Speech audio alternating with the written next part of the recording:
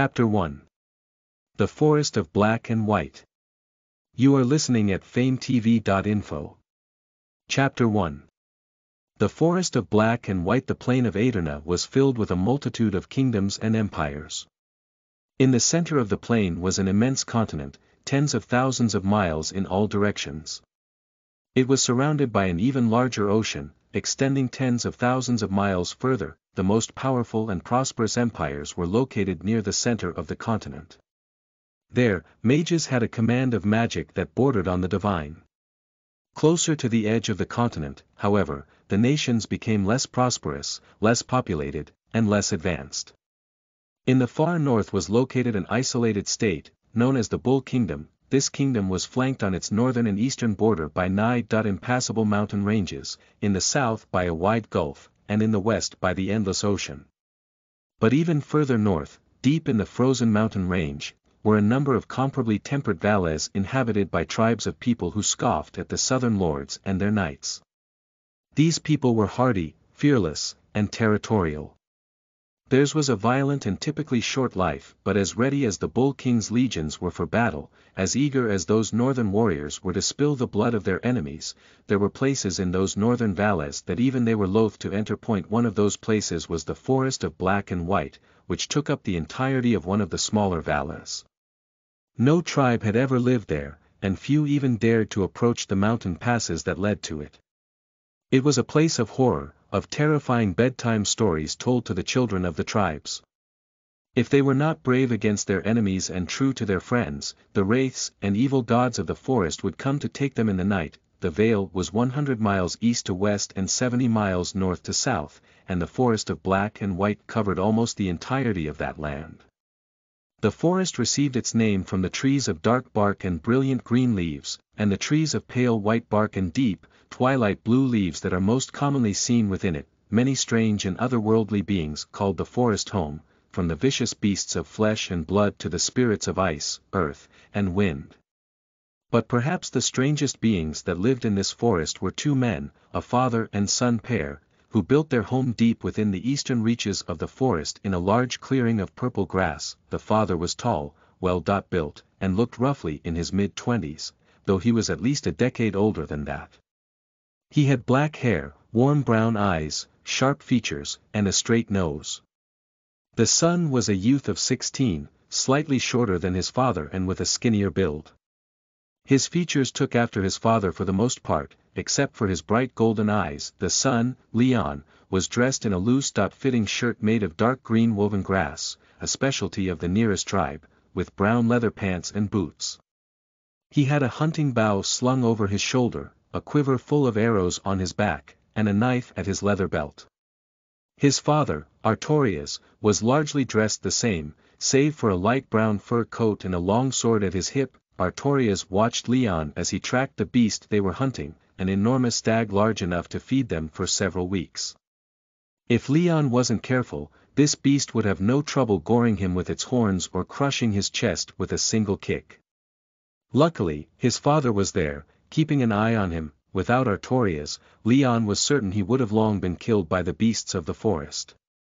Artorias was a powerful mage, able to project magic outside of his body and use it to detect everything for miles around himself. This allowed the two to avoid the most dangerous beasts of the forest during the day. At night, however, they relied completely on Artorias' magic power and skill with the blade to fend off the nightmarish creatures that called the forest home.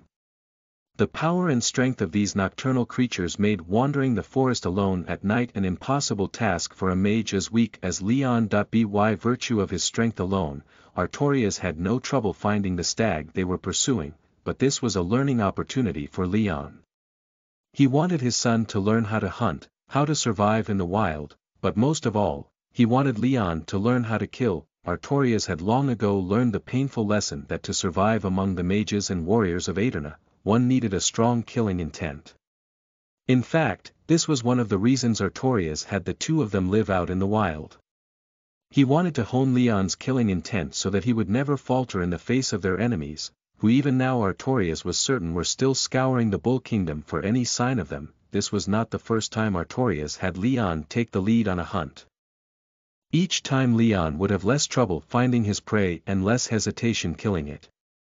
But for all his skill and natural talent, Leon had never brought down anything larger than a wind wolf, let alone another person or the more terrifying and bizarre monsters that live in the forest. This chapter upload first at novelbin.com, we're getting closer. I'd say it came through here maybe 10 minutes ago, can't be more than a quarter mile away, whispered Leon. He wasn't saying this for Artorias' benefit, he knew his father could probably see the stag with his magic senses.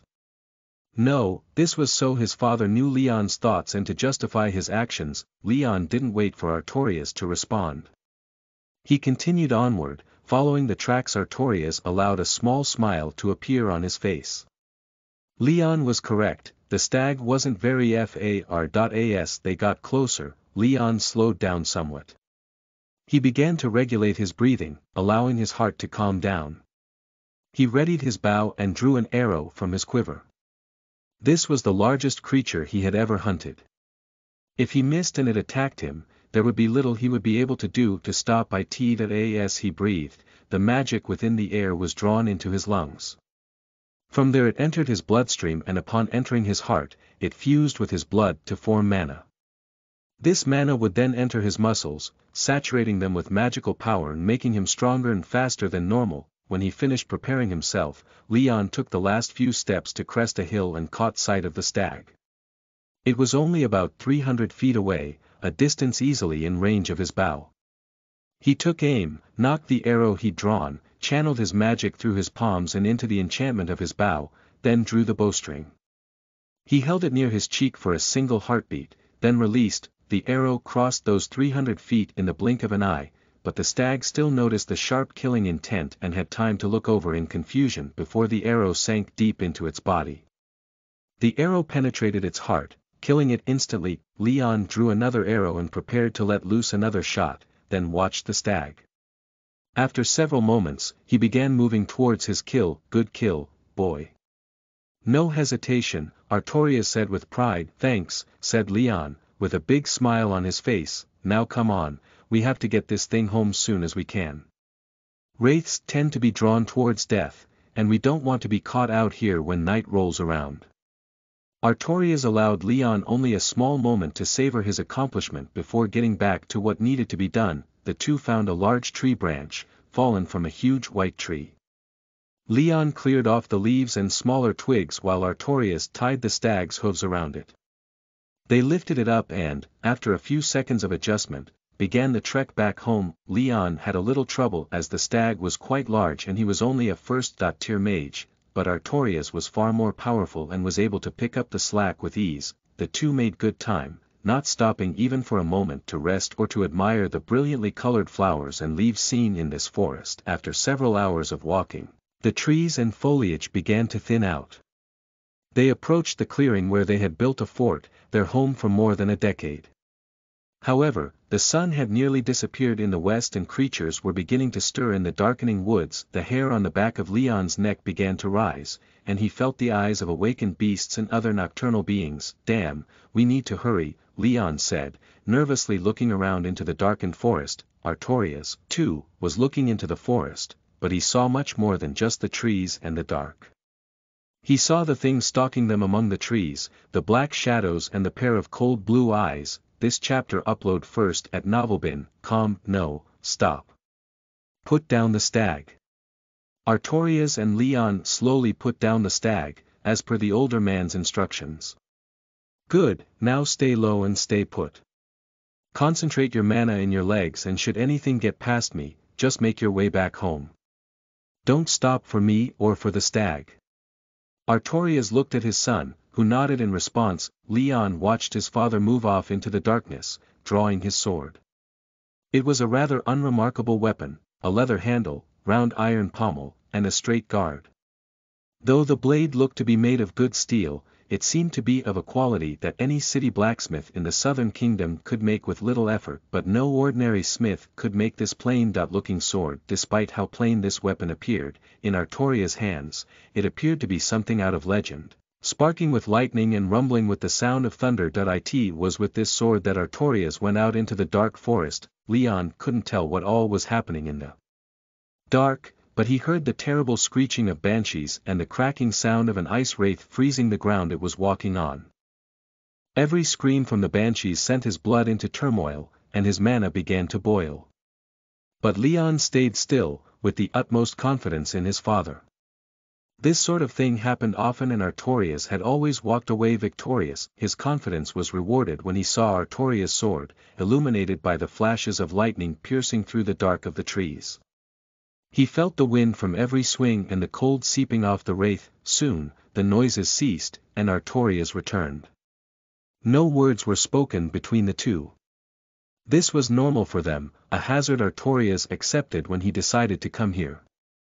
This was a danger that Leon had always known, a danger that he no longer found particularly remarkable, compared to the danger that Artorias knew awaited them in the south, these wraiths and their enthralled banshees were hardly even that threatening, they silently picked the stag back up and continued onward, Leon still felt the attention of beings in the woods, but they backed off after Artorias' show of force, though never quite leaving completely it wasn't until Leon and Artorias reached the clearing of purple grass that they were finally left alone that I in the center of the clearing were four thick wooden walls, 15 feet high and warded to keep the creatures of the night from approaching. This could be considered the only safe place in the entire vale once the sun went down. The entrance into this fort was a small depression leading to a tunnel about 30 feet away from the walls. Leon descended the familiar dirt ramp and placed his hand on a runic circle etched onto the front of the deceptively flimsy-looking door. After a brief flash of light, the door opened. Upon entering, Leon looked down the underground stone passageway and began to relax from the long hunting trip. He started to walk down the ramp, pausing only for Artorias to close the door behind them. As the door closed, there was a moment where hundreds of runes carved into circular glyphs on the door lit up, only to just as quickly darken again.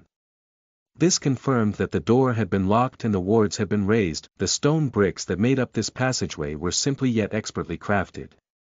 Each brick was cut exactly like the others, and even a mage as weak as Leon could feel the magic flowing through them, there was another, larger door in the tunnel, and more heavily warded as well. It, too, lit up with magical energy as Leon pushed it open and when Artorias closed it, when Leon climbed the ramp on the other side leading up and into the fort, he sighed, it's good to be home. Listen to the full novel at fametv.info, direct link in the description.